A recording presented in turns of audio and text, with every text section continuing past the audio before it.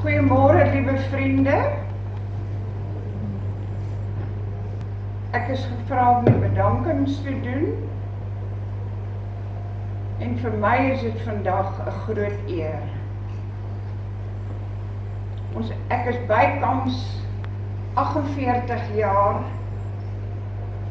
buurvrou van Willem en Ellie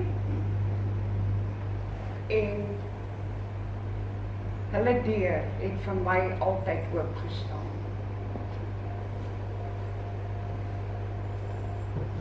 To the English friends that are here today, a mighty welcome.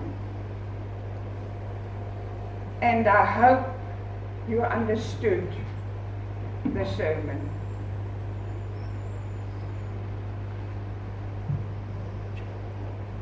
Ons sê vir almal baie dankie wat gekom het, wat hier is. Elkeen het 'n spesiale band met Willem gehad en vir julle Matinda. Baie dankie en julle het pragtig gesing. Vir Dominee Harting sê ons dankie. Hy het meer as te veel besoeke afgelê, die woord bedien vir Ellie en die kinders en vir Willem bygestaan tot op die laaste toe. En vir vandag se besondere boodskap baie dankie Dominee.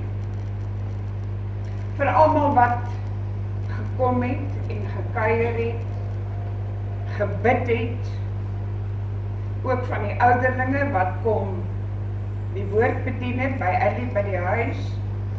Baie dankie vir julle.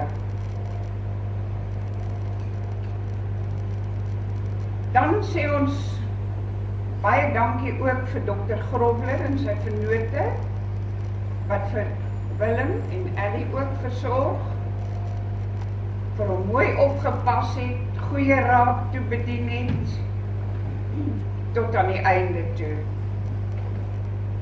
vir St Vincent Hospitaal vir die laaste paar weke wat Willem daar was. Baie dankie vir hulle versorging en hulle gawe personeel. Vir die ambulansdiens wat vir Willem versorg het van die plaas af na die hospitaal toe. Die veilige rit wat hulle gedoen het. Want hy was maar alle skraal mannetjie het hulle versigtig gery. Hulle het hom mooi vervoer. Dan dink ons ook aan Willem se versorging tuis. Almal, almal wat gehelp het. Die buurvrouens, die kinders, die skoonkinders, die Iba en Joyce en Sophie baie dankie ook vir julle. Dit baie keer was dit al lank na son onder dan was hulle nog daar om te help. Van die stoel af in die bed mooi versorg. Net mooi versorg. Vir Ellie se naaste bure ons gaan nie name noem nie vir Ellie se naaste bure wat 24 uur aan diens was tydig en ontydig kon hulle geroep word. Baie dankie. Vir elke kind, klein kinders wat kom kuier het, het Willem se oë laat blink.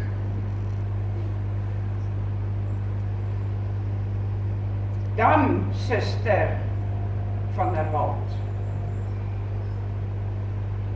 Elmarie met jou lieflike geaardheid.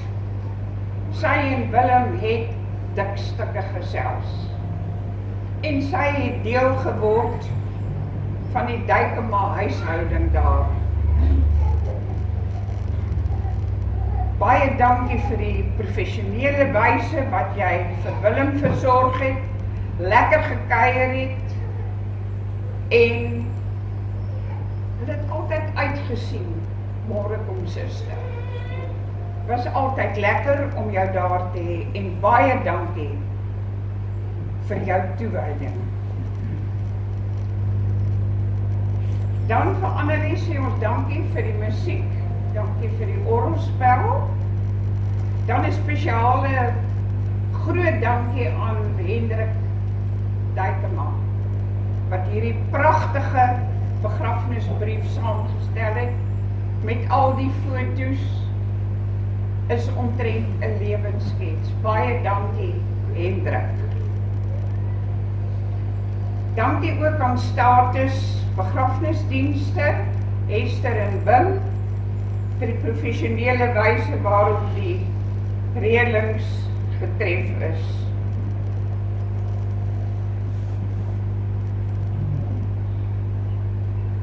Nou ja, Ellie het 'n dankbaarheid teenoor haar kinders.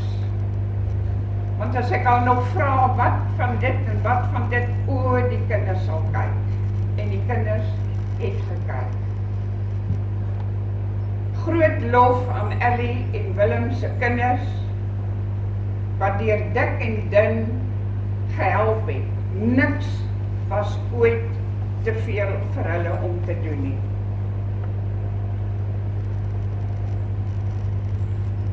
Julle, julle kinders het elke dag Ellie se arms hoog gehou. Baie dankie. Maar sê vir julle. Sy sal julle nie vergeet nie.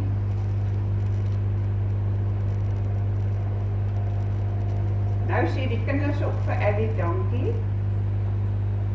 dat sy altyd daar was altyd reg gestaan het. Altyd koffie geskink het, tee geskink het, koekies uitgedeel het. En Ellie, hulle voel jy verdien om geprys te word. Want jy dien die Here. Baie dankie. Hulle bly net sê baie dankie ma jy is die hoofaar in die familie nou dat pa nie meer daar is nie.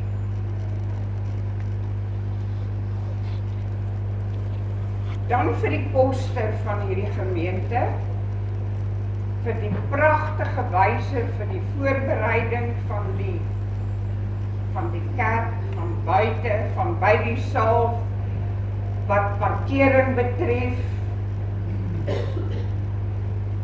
baie dankie vir die koster en sy assistent.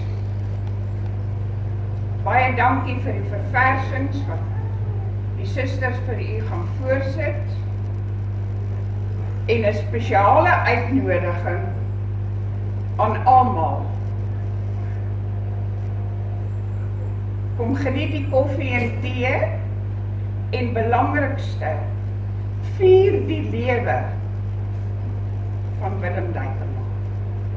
Baie dankie.